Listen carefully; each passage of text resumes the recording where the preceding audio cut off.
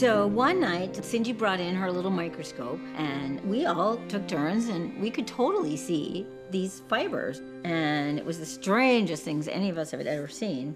So she was saying one doctor had called them folie à deux. So when she brought the microscope in, she was like, well, there's a psychological term, uh, folie à famille, if the whole family believes a certain thing.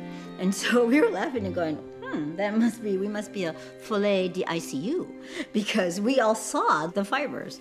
And it just helped us believe that what's going on in the medical community if we can see them and acknowledge them and they can't.